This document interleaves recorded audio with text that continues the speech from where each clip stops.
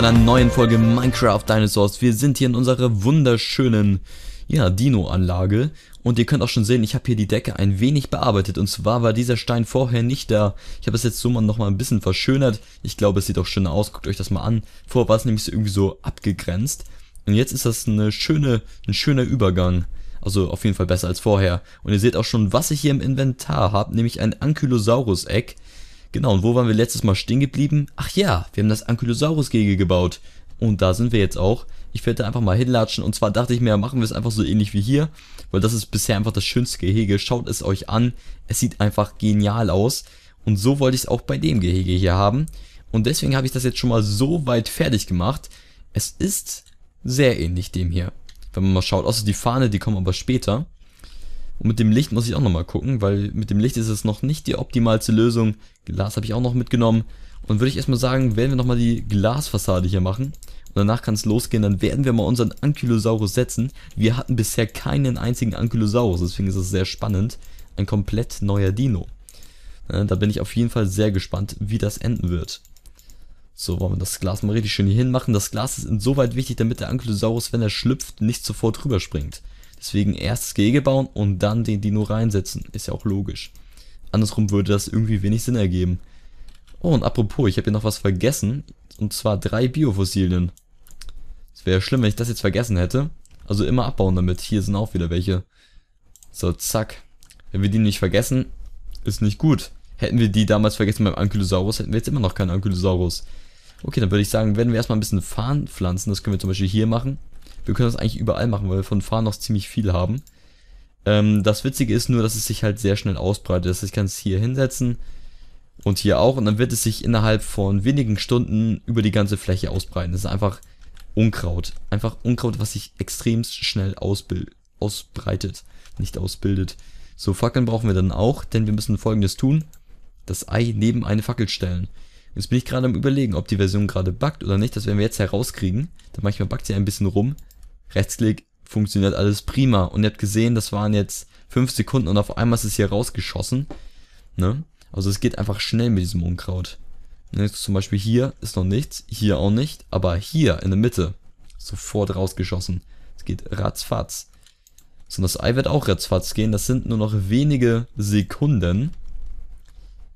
Um genau zu sein, sind es noch 80 Sekunden, die wir jetzt warten müssen. Und dann ist dieses Ei geschlüpft. Und in diesen 80 Sekunden werde ich nochmal schauen, wie alt denn jetzt unsere Pachycephalosaurier sind, weil die wurden ja seit Tagen auf 13 Tage angezeigt und werden sie immer noch. Also wir sehen schon hier eindeutig in dieser Mod ein Fehler drin, dass die, dass die Pachycephalosaurier nicht älter als 13 Tage angezeigt würden oder werden. Ne? Genauso ist es auch beim, ähm, bei allen anderen Dinosauriern. Die werden alle nur bis zu einer bestimmten Tageszeit angezeigt. Danach, ja, geht es nicht mehr. Wahrscheinlich denkt einfach der Mod-Ersteller, ist er einfach davon ausgegangen, okay, nach 13 Tagen sterben die sowieso eigentlich irgendwie. Aber mir sterben sie halt nicht und von daher leben sie für immer weiter. Oder vielleicht war irgendwie 13 Tage so wirklich das maximale Hochalter und irgendwie haben wir es geschafft, die länger leben zu lassen. Ich weiß auch nicht. Kann alles sein. So 60% fast. Ich rechne das gerne in Prozent. Hier steht zwar nichts mit Prozent, aber wenn man es genau nimmt, kann man es ja eigentlich gleichsetzen und dann wären es wieder Prozent. Und komm, wer rechnet von euch nicht gerne in Prozent, ne? Kennt ihr das vielleicht, wenn ihr irgendwie eine Strecke lauft, wenn ihr gerade mal am Joggen seid, ihr wollt 10 Kilometer joggen oder 20, was weiß ich. Ne, immer schön morgens vor der Schule. Und dann, ähm, genau, dann ähm, habt ihr so ein schönes, so eine schöne Armbanduhr die einen Kilometerzähler hat und dann zeigt sie euch an, von euren 10 Kilometer, 5 Kilometer und dann könnt ihr so sagen, ja, ich habe schon 50% geschafft. Wobei ich glaube, dann sagt man eher die Hälfte, aber dass man sich das halt so in Prozent ausrechnet. Zum Beispiel, ich habe das zum Beispiel, wenn ich mal ähm, schwimmen gehe, dann ein paar Bahnen schwimmen oder so, dass mir das immer in Prozent ausrechne, wie viel ich von den Strecken jetzt geschwommen bin. Ne, wenn ich mir nämlich vornehme, okay, ich will jetzt 100 Bahnen schwimmen, dann bin ich gerade bei 37 Bahnen, sage, yay, 37 Prozent. Ne, also ich mache das immer in Prozent meistens. Aber es macht natürlich jeder für sich, genauso wie man jeder für sich irgendwie auch, keine Ahnung, jeder hat seine eigenen Methoden, wie er was macht. Aber okay, in zwei Sekunden ist auch fertig. Wir warten gespannt und wir sehen schon ein neuer Dino, ein Ankylosaurus. Und jetzt mal im Ernst, guckt ihn euch an. Also wenn der nicht genial aussieht, weiß ich auch nicht. Ist der nicht süß? Ein Ankylosaurus ist das. Ja, ich habe den ähm, auch noch nicht gesehen in Minecraft Dinosaurs. Für mich ist das auch komplett neu. Ich kenne ihn zwar schon aus dem Fernsehen, ne, da ist er ja mega Star. Also ich habe ja früher sehr viele Dino-Dokumentationen gesehen oder auch ähm, damals, als ich noch ganz klein war, in einem Land vor unserer Zeit. Hm. Also auch schon ewig her. Ich weiß noch damals der erste Film. Ja, das waren noch Zeiten. Und wir sehen schon, Ankylosaurus hat auch einen großen Magen, 500 kann er verschlingen, schon nicht schlecht. Ne? Und was ich eigentlich an den so cool finde, er ist einfach direkt richtig gepanzert. Das heißt, wenn man auf ihn rausspringt, geht nicht, weil er hat da einfach seinen Panzer, wo man einfach, wo er nichts durchlässt. Das heißt, wenn T-Rex da reinbeißt, aua, das würde wehtun. Ne? Und was nochmal ziemlich zum, zur Verteidigung ist, ist hier sein Schweif. Er hat am Ende des Schweifes eine Keule, mit der er alles umhauen kann. Normalerweise sind da noch Stacheln dran, wobei da kommt es auch auf die Art, die Unterart an des, ähm, des Ankylosaurus, beziehungsweise ich glaube, es gab da mehrere Keulen, Dinos nenne ich sie einfach mal, Keulen, Dinos, die halt hinten eine, am Schweif eine Keule hatten. Und wenn er damit ausholt, das ist schon eine mächtige Waffe. Der kann auch schon den ein oder anderen T-Rex im Ernstfall umnocken, würde ich mal sagen. Seine einzige Schwäche ist eigentlich so die Unterseite. Ne, der Kopf, der ist eigentlich auch noch sehr gepanzert, auch wenn das jetzt hier gerade nicht so aussieht. Ne, der ganze Körper ist eigentlich gepanzert, aber die Unterseite, wenn er einmal darauf fällt, dann ist er leichte Beute. Weil die Unterseite ist nicht gepanzert, so weiß ich weiß. Ne? Also auf jeden Fall schon sehr defensiver Dino. Den sollte dann auch ein ausgewachsener Fleischfresser nicht so leichtfertig angreifen. Wie das in Minecraft Dinosaurs ist, weiß ich nicht. Ich schätze mal, ich weiß gar nicht, ob der Mod-Ersteller das mit reingebracht hat. Aber ich glaube, dass unser Ankylosaurus sich immer verteidigen kann, gegen jeden anderen Dino auch. Wobei, was glaubt ihr? Gibt es einen Dino, der stärker ist als der Ankylosaurus? Sich besser verteidigen kann, was weiß ich? Ich weiß es nicht.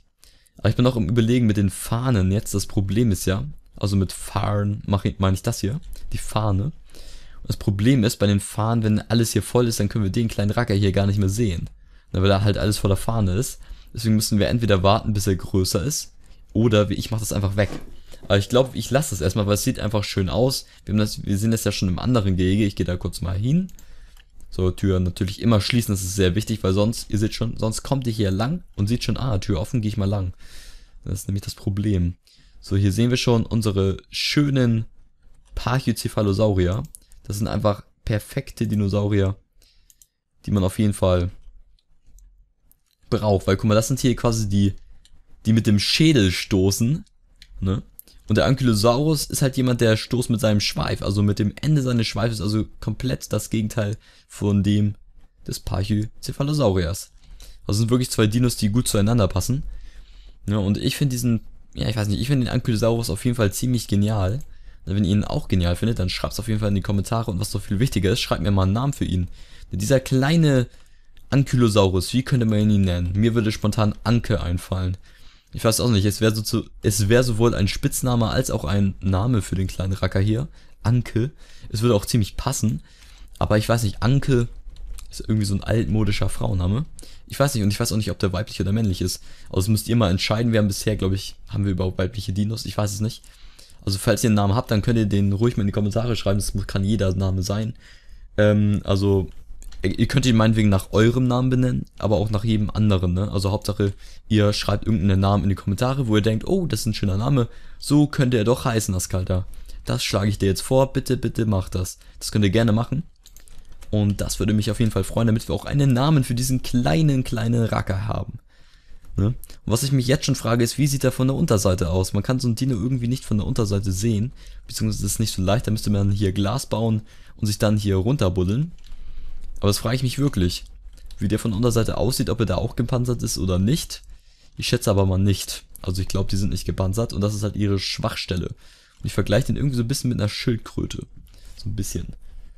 Ne? Wobei, was, was ich auch schon immer, was ich mich auch schon immer gefragt habe, ist, wie dick da, beziehungsweise dick Dri von der Unterseite aussieht. Das dick da, man sieht es einfach immer nur, wie es in der Erde rumwillt, aber man weiß nie, wie es von der Unterseite aussieht. Hat es da Füße, oder hat es da irgendwie, keine Ahnung was, ne? Irgendwie ein, weiß nicht, irgendwelche Flossen oder Bohrer oder so eine Schaufeln, ich weiß es gar nicht. Das habe ich mich auch schon immer gefragt. Keine Ahnung, wer weiß, wer weiß. So, wir werden aber erstmal schlafen gehen, das ist nämlich Nacht. Und was macht man nachts so? Oder was sollte man eigentlich nachts machen? Was ich leider, wo ich leider auch nie zukomme. Das ist nämlich Schlafen. Ja, schlafen sollte man. Ja, ein schöner neuer Tag. Aber ich vergesse es leider immer. Das ist ein großes Problem. So, und ihr seht hier schon ein sehr, sehr schönes Bild. Und zwar hat dieses Bild auch wieder eine Bedeutung, die ihr jetzt lösen müsst. Ich werde sie dann in der nächsten Folge lösen. Aber dieses Bild hat wie immer eine Bedeutung. Na, ihr seht hier schon einen Diener und hier der Dino-König als Kalter und hier noch was. Ich vermute mal, das ist ein Sarkophag, aber ich weiß es nicht genau. Und ähm, ihr müsst mir mal eure Deutung dieses Bildes in die Kommentare schreiben. Meine Deutung werdet ihr dann am Ende der Folge erfahren. Aber erstmal schreibt mir eure, damit eure Meinung noch, also ja, unbeeinflusst ist. Damit ihr jetzt nochmal eure Meinung schon reinschreiben könnt. Und dann könnt ihr ja mal vergleichen, was ich so, wie ich das deute. Dann kann ja jeder anders interpretieren, beziehungsweise deuten.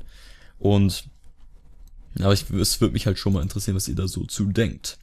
So, Steak wollen wir nehmen. Wir lieben Steak. Ist auch mal was anderes nach dem langen Fisch. Ich habe die ganze Zeit Fisch gegeben. Gegeben? Gegessen, ne? Ich habe die ganze Zeit Fisch gegessen und oh, ich war schon ein richtiger Vegetarier. Und jetzt? Na, jetzt bin ich hier ein, wieder ein Fleischfresser.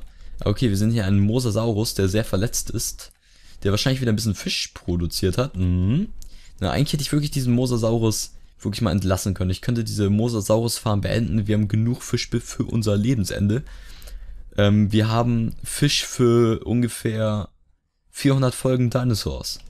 Also wir brauchen kein Fisch mehr. Wir haben gesehen, durch einmal zum Mosasaurus gehen, einmal am Tag, 32 Fisch. Ihr wisst, wie lange das aus, wie, wie lange ähm, wir damit auskommen. Ziemlich lange. Wenn wir den noch braten, dann füllt das so zwei, drei auf. Zwei, drei Hungerbalken. Ne, und damit kann man schon sehr, sehr lange auskommen. Also theoretisch brauchen wir die Fischfarm nicht, aber ich lasse sie trotzdem mal da. So ein Mosasaurus, der letzte gefangene Mosasaurus, vielleicht doch nicht schlecht. Guck mal, Spino, guck mal, der ist auch echt riesig geworden. Das ist mir gar nicht aufgefallen früher. Ich dachte früher, hm, so groß ist er ja gar nicht, aber wenn ich mir den jetzt mal angucke, der ist einfach, ja, der ist einfach ein Riese geworden. Riesengroß. Aber ich weiß nicht, ob er größer ist als der T-Rex, ich glaube. Aber ein bisschen durch seinen Kamm vielleicht. Das ist auf jeden Fall ein großer Dino, ist auch ein sehr cooler Dino, aber der ist auch zu, ähm, ja, also es hat auch einen Sinn, dass er eingesperrt ist.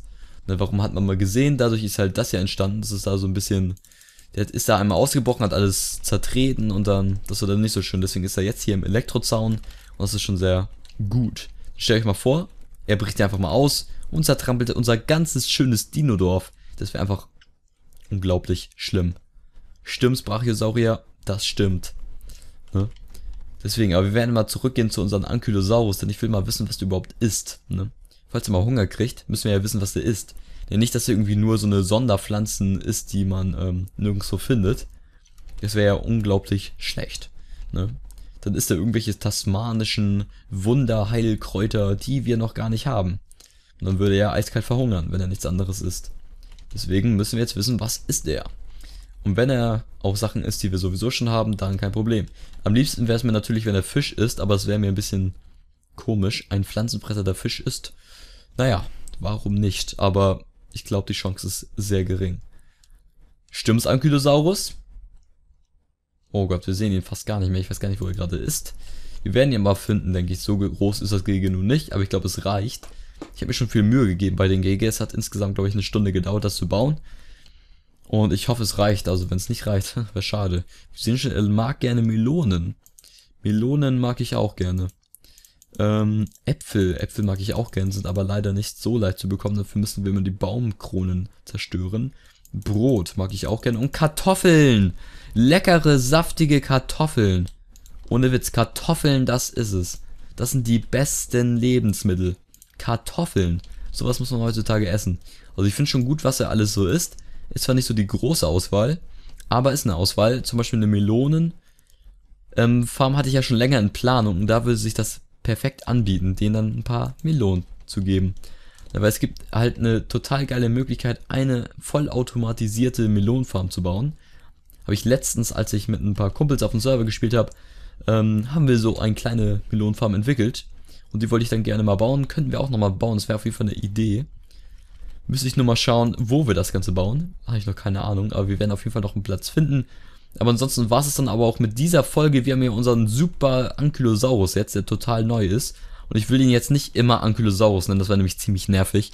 Also denkt euch am besten mal irgendwie ja, irgendwie einen Namen für den kleinen Racker hier aus. Ansonsten wäre das echt fatal, wenn wir ihn immer Ankylosaurus nennen müssten. Aber okay, das war's dann auch mit dieser Folge. Ich hoffe, sie hat euch gefallen. Wenn sie euch gefallen hat, dann gebt dem Video auf jeden Fall einen Daumen nach oben. Wenn es euch nicht gefallen hat, dann auch. Oder dann halt einen Daumen nach unten. Ansonsten wünsche ich euch weiter viel Spaß. Macht's gut und natürlich bis zum nächsten Mal.